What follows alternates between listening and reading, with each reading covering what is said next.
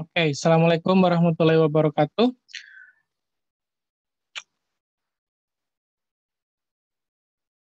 Welcome back again to uh, second session, sesi kedua di English Conversation.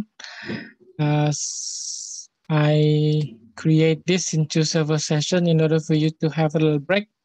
Jadi kalian bisa sambil kuliah mau taruh air minum segelas boleh silakan. Mau minum mau minum teh atau ada snack silakan. Ya kita kuliah kita zoom jangan terlalu tegang kita relax. Jadi uh, boleh. Mau misalnya sambil ngemil juga nggak apa-apa. Tapi jangan kunyahnya jangan sampai kelihatan di video ya. Oke. Okay. alright. So I move on to the next one. Kita lanjutkan. Uh, kita kalau antara sesi ini kita misalnya break agak dua menit atau tiga menit, uh, what do you think? Atau kita, kita lanjut seperti ini? Lanjut aja, sir. Lanjut aja, oke, okay, good. Alright. Yes, sir. Uh, we will come to the next one. This is the more about you. Nah, ini the point, the topic of that is uh, about you, how to describe yourself as an individuals. Um. Okay. These words are interesting. Kosakata ini sangat penting ketika Anda mau berkait menjelaskan tentang diri Anda sendiri di English conversation. This is what qualification, qualified, reason, small talk, so on. Employment. Number one, how does this classroom look like hmm. your classroom? Hmm. How does this classroom looks like with your classroom? Gimana ini kelasnya ini? Kelasnya dibandingkan kelas kalian. Ini sudah sudah ketemu kah secara fisik di kampus? No. No, belum ya. Jadi secara yes. ketemu muka belum lagi. Kalian sama-sama belum ya? Belum. Belum. Okay. I hope that one day you can meet each other and you can have a good conversation Okay, now this questions, uh, where do you think these students are from? Di tempat-tempat aja, kira-kira where do do you think these students are from?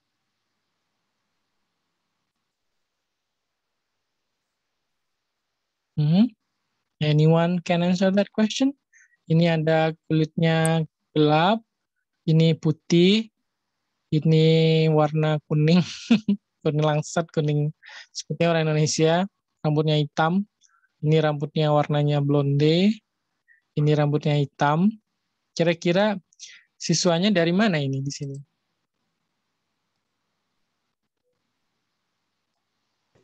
Which one? Ya, yeah. yang I'll send you again the link to the attendance again. Silakan diisi absensinya. Mm-hmm. Maybe they're coming from different places in the world. Mm, okay. Now, what about this one? Um, what are ini yang keenam? Draw two more reasons in the empty bubbles. Empty bubbles itu yang gambar kosong ini kira-kira dia mau apa ini?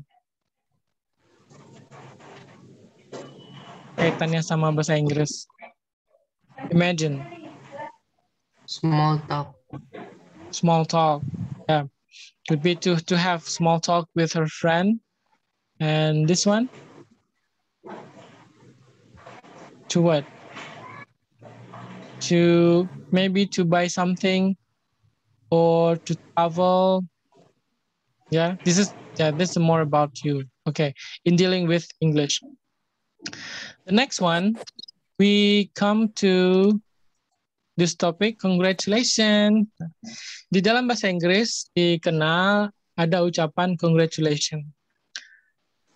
Congratulations ini penting ya, agar menunjukkan kita uh, sama-sama happy ketika ada orang lain yang mendapat uh, nikmat atau mendapat rezeki atau whatever uh, that you see that is a good thing. Okay, so we see this one. Ada kosakata. Silakan kita baca satu sampai ke tujuh. Siapa yang membaca? May I, sir? Okay, please raise your hand. Click.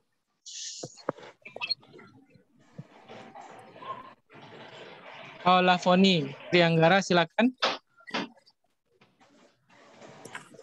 All the best. Congratulate. Deserve. Event. Good luck. Graduate. Graduation. Okay, thank you, uh, Lavoni.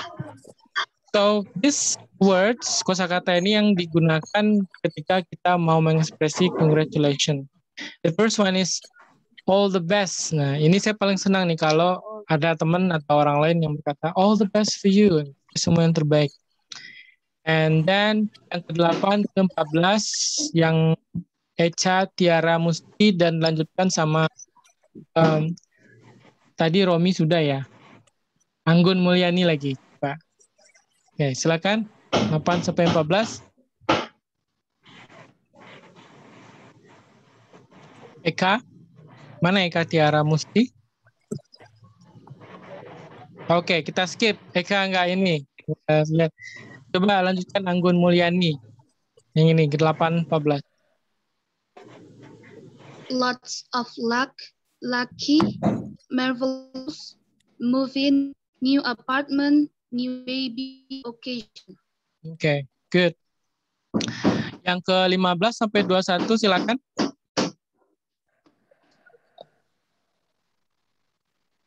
Eh, sama ini yang angkat tangan Alfarizi. Silakan.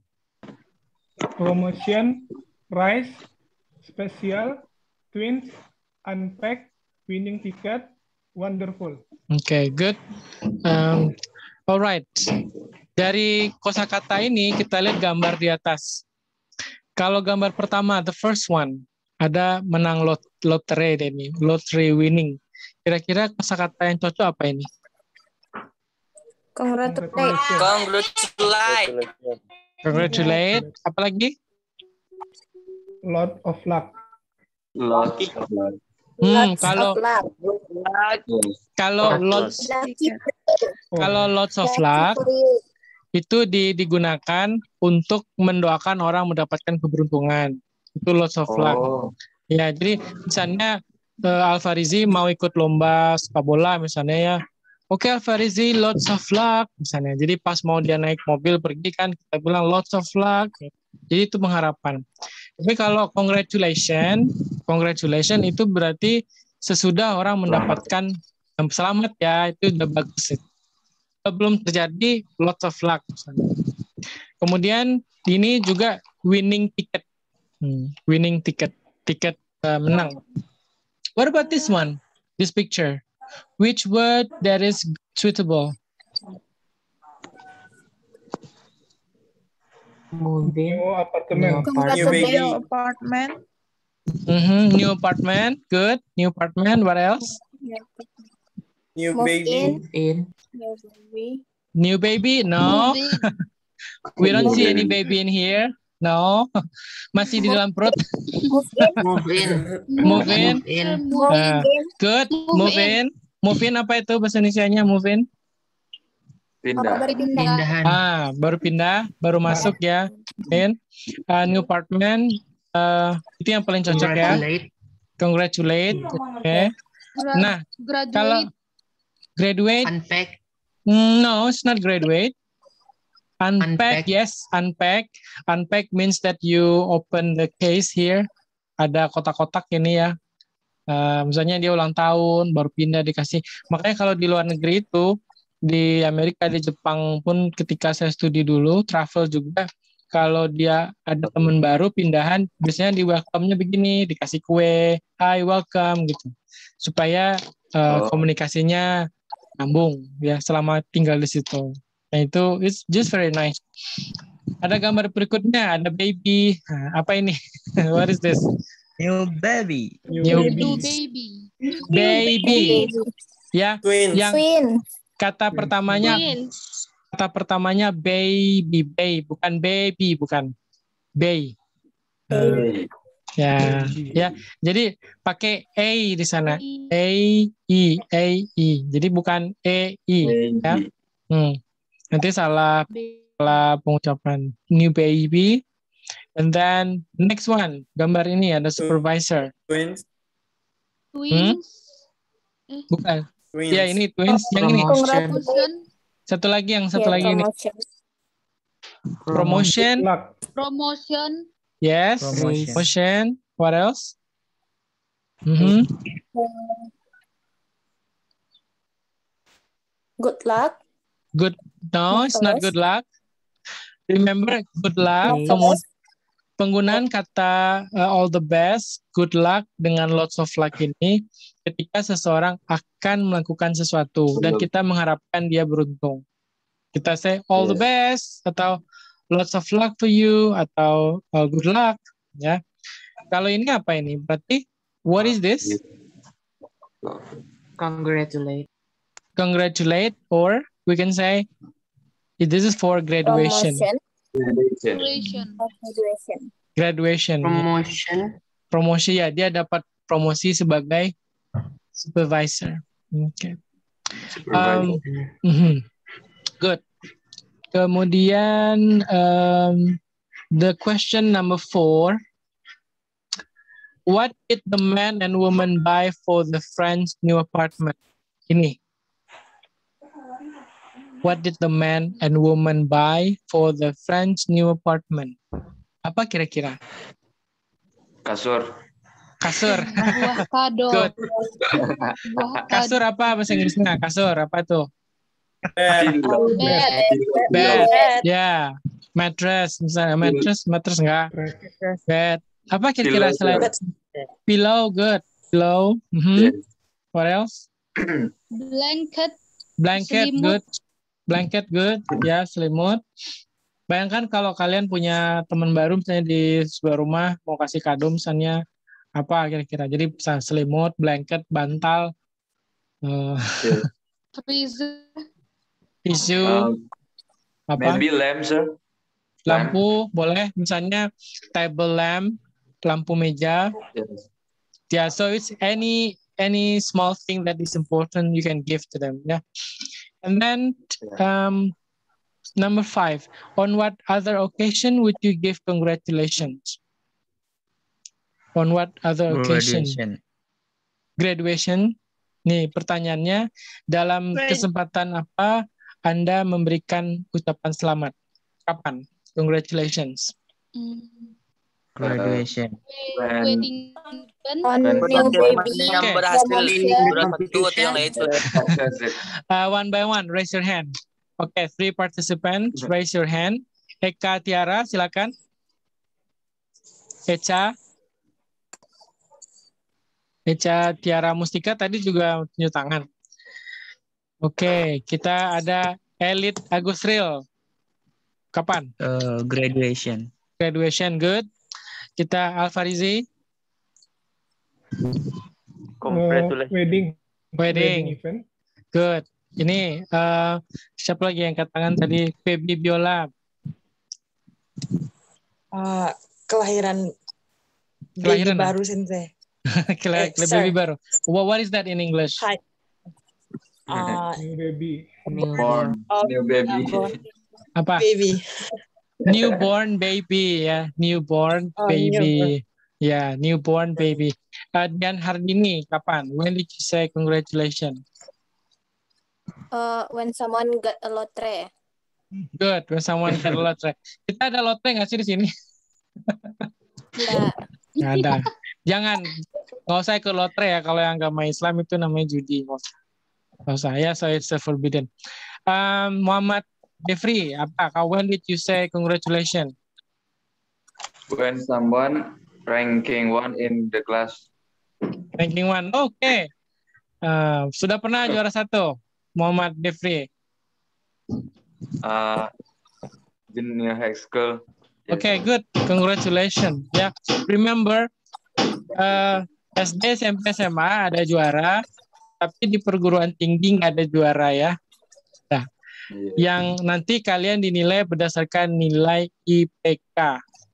Jadi per mata kuliah. Jadi bukan misalnya Lafoni juara satu di kelas saya misalnya, oh enggak. Tapi nilainya lihat dulu sama yang lain ya perbandingan. Oke. Nah kemudian, alright, now we move on. ini sudah eh, tadi. Nah, kata marvelous ini yang sering di- dibilang oleh si Jarjit temennya si Upin Ipin ini. Marvelous, marvelous. ya. Nah, jadi itu konteksnya juga sama dengan congratulations. Hmm, oke, boleh silakan Romi. Kalau yang ingin diupload silakan di aja boleh. Kemudian ada raise, special, even, deserve. Ada yang tidak tahu kosakatanya?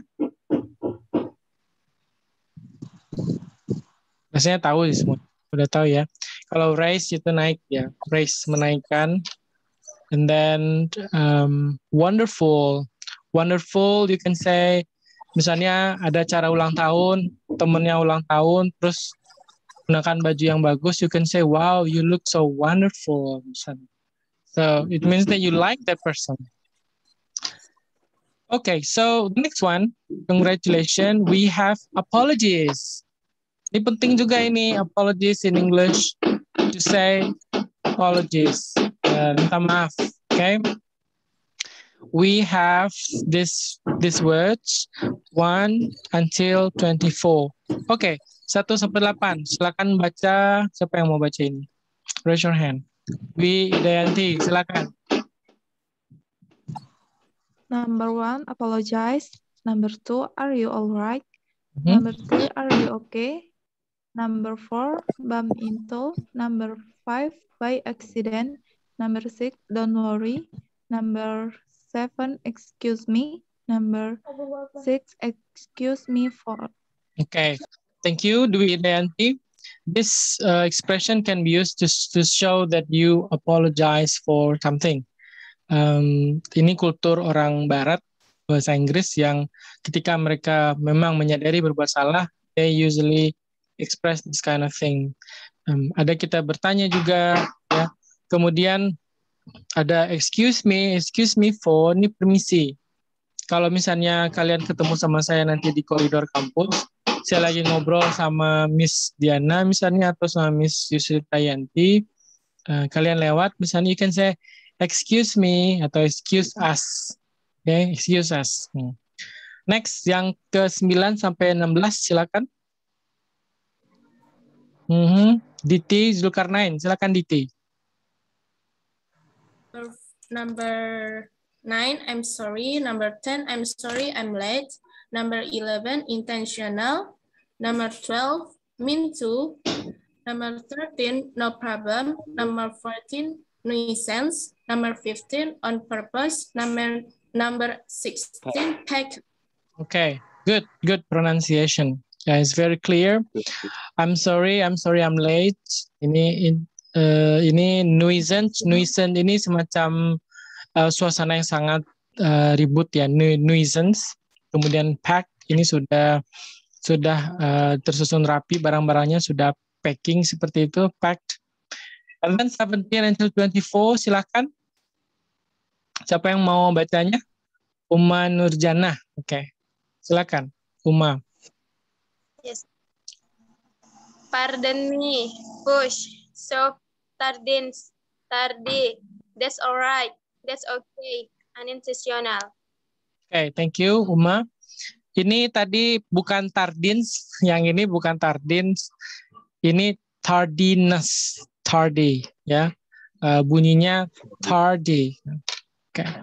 So we ada ini pardon me, ini pardon me ini ekspresi bahasa Inggris yang cukup eh, formal. Pardon me misalnya atau excuse me, eh, push, push ini mendorong, shove memotong ini, kemudian tardiness ini sering terlambat. Misalnya kalau online atau di offline di kelas sering terlambat, hampir tiap meeting terlambat, maka gelarnya adalah tardy. Misalnya kalau si ini eh, Gina Paripurna misalnya contoh misalnya ya eh, tiap meeting terlambat maka panggilannya adalah Miss Tardy. Ini gelarnya ini Tardy.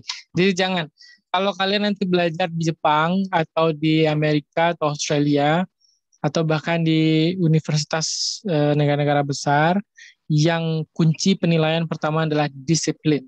Okay, so you have to be disciplined. Kalau tardy saja, waktu saya kuliah di US, misalnya 5 menit lambat masuk ke kelas, pintu sudah ditutup sama profesor. So, boleh diizinkan masuk, tapi kita dicuekin. Itu contohnya ya. So, you should be on time and be uh, disciplined. And then, pardon me, ada that's all right. Okay, now we got we look at this picture. We have one, two, three, four pictures. Each picture is interesting and it represent a certain type of phenomena. The first picture apa ini? Yang cocoknya? Apologize. Yes. Are you alright? Bump into, good. Bump into, apologize. Mhm. By accident. By accident, good. Mhm. I'm What? sorry. I'm sorry, of course. Unintentional. Uh, in, un- in- yang mana? 24, unintentional. Tidak sengaja Okay. maksudnya ya. Mhm. Good. Alright, ini ini bump into lebih cocok ini. Bump into ini misalnya beradu, beradu dia eh, berselisih ya. Nah, ya.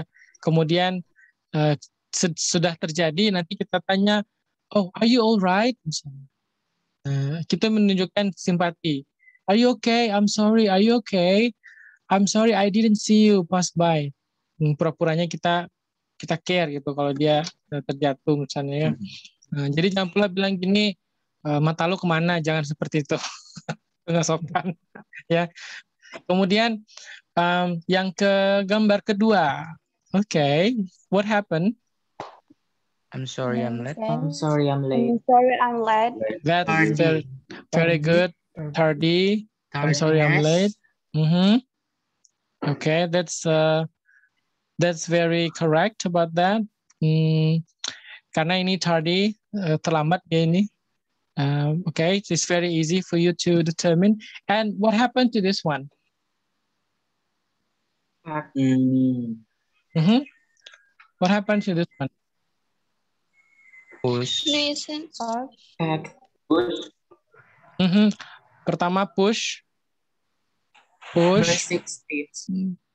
Excuse me. Which one? Excuse me. Yes. Excuse me before. Ya, excuse me, boleh. Mhm. Um, kemudian nuisance, I'm sorry. nuisance ini, nuisance ya. So many people, dia bawa anak kecil. And then, okay, that will be right over there. Hmm, jadi nanti tugas assignment satu itu misalnya begini, kalian pilih yang unit satu ini misalnya apologies. Gunakan kosakata ini di dalam conversation. You create conversation with this word. Kalau dulu belajar SD, SMP, SMA, ini ada percakapan. Nanti ada Mr. A, Mr. B. Kita practice. Nah, itu level SMA. Kalau mahasiswa, you create your conversation. Ciptakan sendiri ya. Dari kosakata ini. Oke, dari gambar ini. So, it will be interesting for you to develop that. And the next one, kita lihat gambar ini apa ini? Gambar? What picture it is? Uh, Mhm. someone bring dog. Someone? What did she do? Bring dog. Oh, okay. Dog ruined the woman garden. Good. The dog messing up the garden. Good. The dog messing up the garden, and then this woman seems to be pissed off, or she got angry. Angry. And angry. so, what is this? Which which words that is suitable to show this situation? Which word? Apologize, maybe. Accident. Apolo- Can you apologize on behalf of a dog? Ya. Bisakah kita minta maaf atas nama doggy? No, we can't. An accident. No, no, no, no, no. Yeah, Owner. It's a by accident, By okay. accident. Hmm, And then we have Intentional. No, it's not intentional. Unintentional. Unintentional, okay. Unintentional, and then. Mm-hmm. You can say, um, excuse me for, you can say, excuse me for my dog because my dog take off your flowers.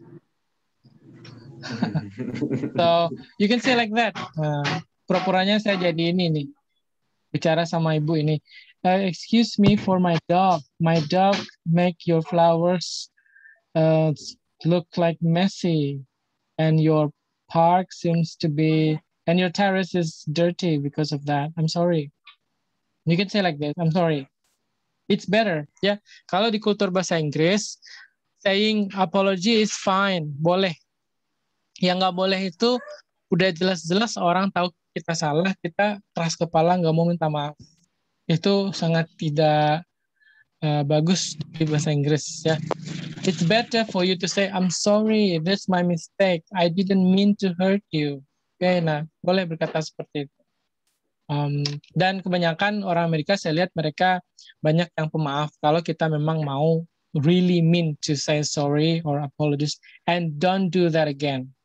Tapi kalau misalnya udah dimaafin terus diulang lagi, oh nggak ada cerita mereka akan saying goodbye forever for you. Um, that's that's I have an American friend punya teman orang Amerika, teman Jepang juga ada, teman dari Iran ada, teman dari uh, Taiwan atau China juga ada, Malaysia juga ada. Waktu saya studi di negeri orang, so I make friends. Um, makanya trust itu yang harus dijaga, rasa percaya itu dijaga ya. Kalau salah emang saying apologies that's, that's better. Kemudian uh, question number three. Have you ever been in a situation like any of these? Pernahkah berada di situasi seperti ini? Have you? Hmm, let let pernah. Yes. Yeah. Yes. Mhm. Yes. Yes. Um, Okay. let Mhm. David Lee. definitely. I, I, I asked definitely, have you been in any of the situation, definitely? Lee? Uh, this uh one picture. One picture. Which picture? One, two, three, four. One.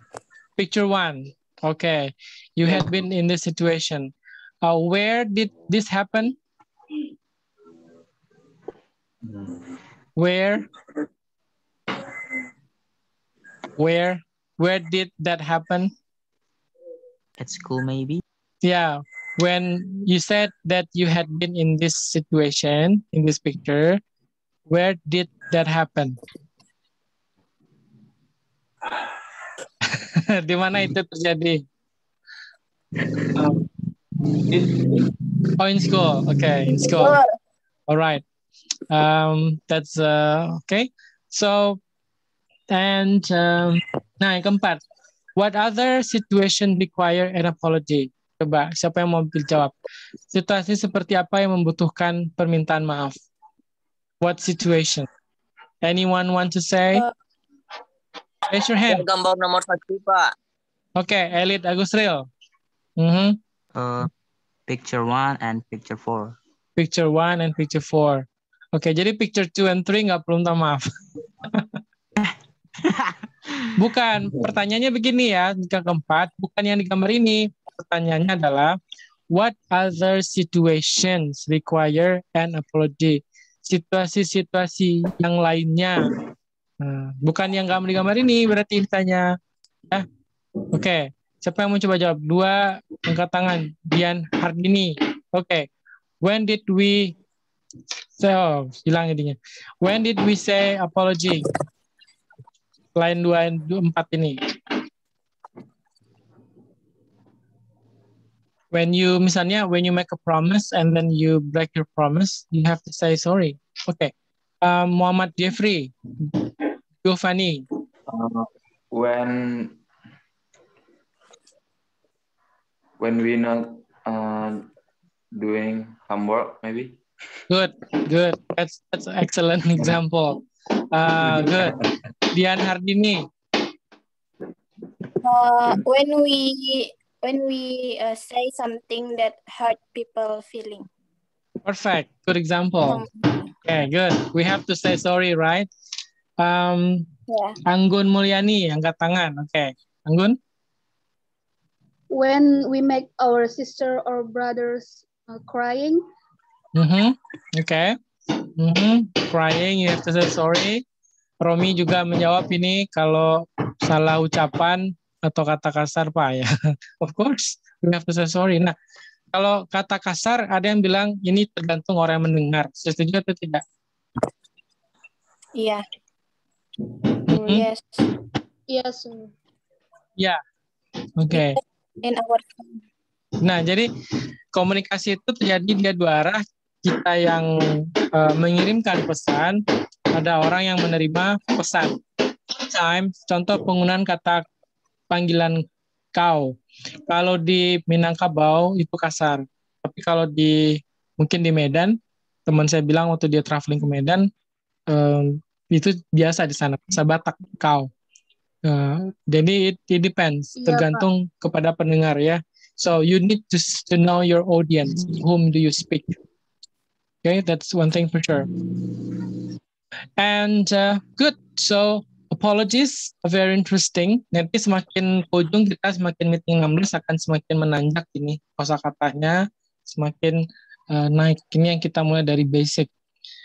The next one, okay. Nah, berarti kita sudah sampai ke apologies. We are 14 lewat 15, kita sampai 14 lewat 40. Oke, kita masuk ke sini. Jadi unit 1 materinya sudah selesai. Kita eh, rehat sejenak membaca ini. Kira-kira ini apa ini? Siapa yang mau membaca yang gambar pertama?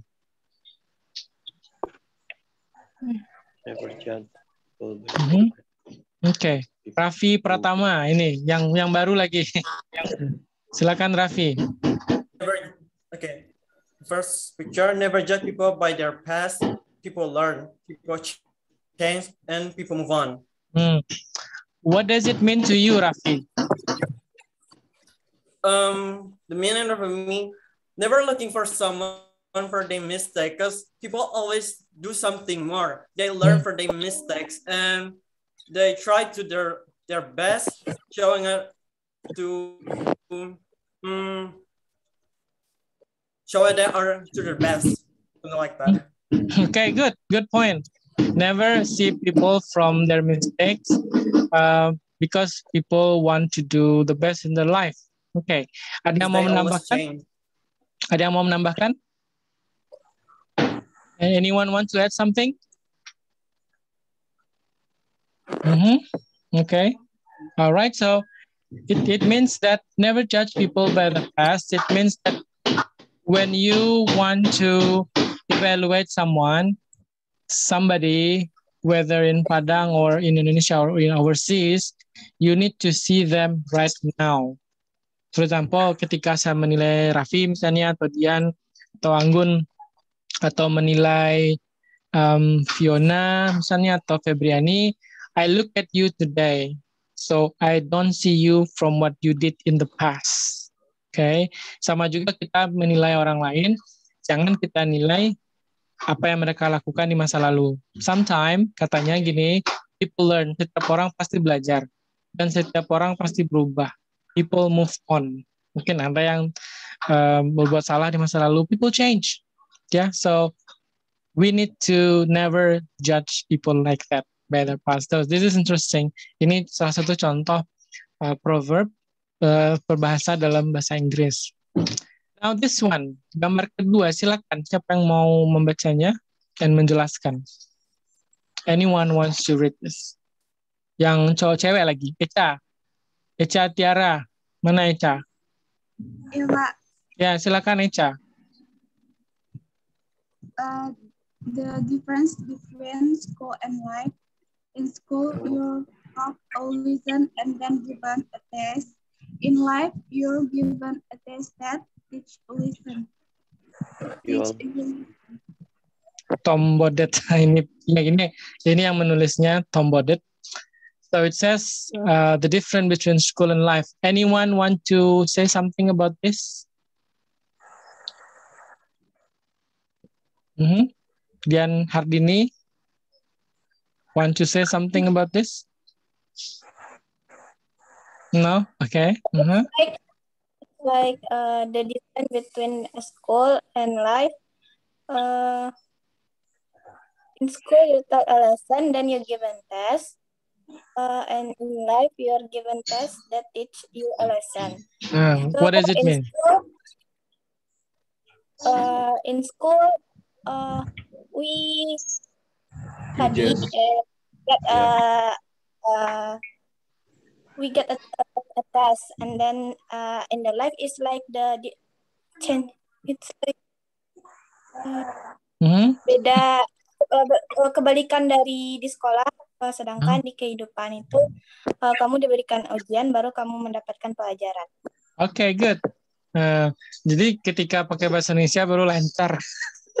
Oke, apa-apa. That's okay. We are learning ya. Jadi that's that's the meaning of uh, school and life. Kalau das, makanya saya selalu bilang bahkan kepada adik-adik saya juga, teman-teman saya gini, bahkan sama diri saya sendiri in school. Kalau kita di sekolah mau kita juara, mau kita yang terbaik, kita diajarkan pelajaran, baru kita diuji tentang pelajaran tersebut, right? Iya. kita dikasih buku baca lalu kita diuji lagi tentang buku itu makanya sekolah itu paling easy easy banget nah tapi in life you're given a test. Kita dikasih uh, diuji and then you get dapat pelajaran. good. Pelajarannya. you get a lesson after that. People make mistake. Kita berbuat salah. Kita berbuat uh, yang tidak baik. Misalnya karena ketidaktahuan kita fine. But after you know the truth you know the right thing do the right thing so you can fix what happened in the past. Okay that's this is the point of this one right? Um okay good. This is interesting. The next one. Um, gambar ketiga. This is I like this one the word success. Anyone wants to read this for us? Siapa yang mau baca? Silakan. You can raise your hand.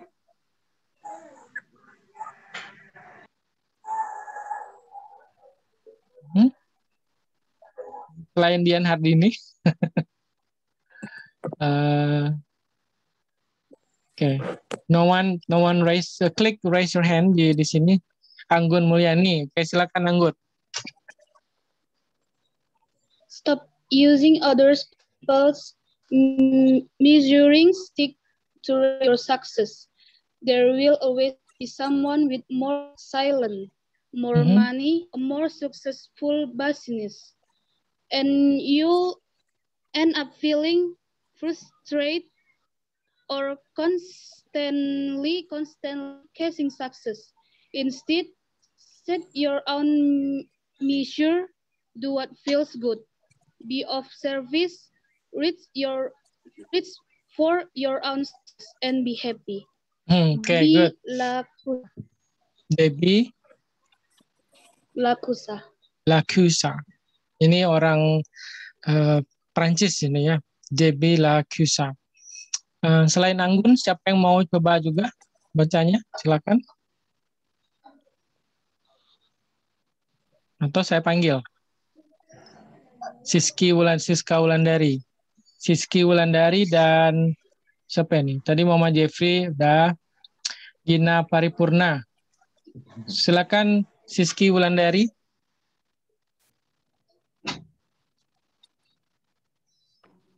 Okay, sure. Thank you. Stop using other people measuring stick to rate your success. There will always be someone with more client, more money, a more successful business, and you and you end up feeling frus- frustra- frustrated or constantly chasing success. Instead, set your own measure. That what feel good. Be of service, reach for your own star, and be happy. Debila Lakusa. Thank you, sir. Okay, thank you, Siski Wulandari. Um, it means that I will explain this in our section 3. Ini less than one minute ini oleh Zoom. Okay, I'll see you again in uh, section 3 right after this one. Minggu depan kita coba pakai Telegram ya. We try. I'll stop share. I'll see you in the section 3. Assalamualaikum warahmatullahi wabarakatuh. Waalaikumsalam warahmatullahi wabarakatuh.